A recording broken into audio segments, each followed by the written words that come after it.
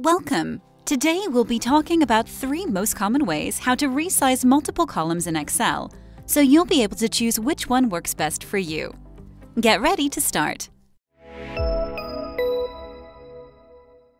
Hello, and welcome to EasyClick Academy.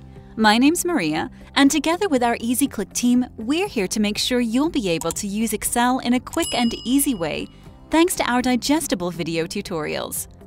The first way to comfortably resize column width comes handy if you need to have the column width as narrow as possible, but keep all the information in the cells visible at the same time. To begin, select the columns the width of which you want to change. Click on the first column on the left-hand side of the area and drag through the rest of the columns to the right. Now, set the cursor on the borderline of two columns until it changes into this double arrow and press the left mouse button twice. And here we go. All data in the cells remain visible, the column width is equal, and the columns have been resized to the narrowest width possible. Let's undo the changes and have a look at the second way to resize multiple columns in Excel. If you'd like to set the column width manually, this will be the right way for you to try.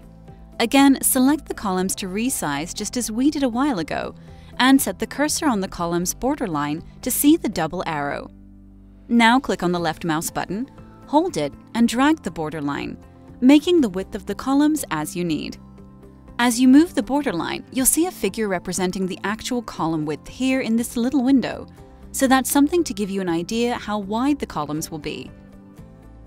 And let's now move on to the third way. Undo the changes again, and we'll have a look at how the last way we're going to see today works. This way is most convenient if you know the figure for the width to be set for these columns. Again, select the columns and right-click on any of them to see these options.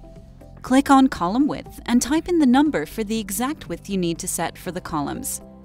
Here, we'll go with 10 and press OK. And we're done.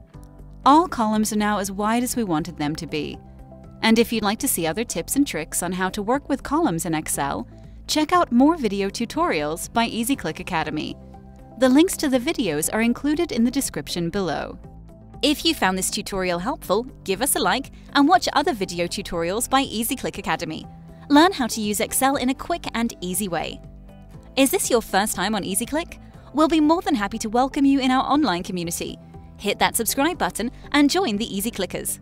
Thanks for watching, and I'll see you in the next video.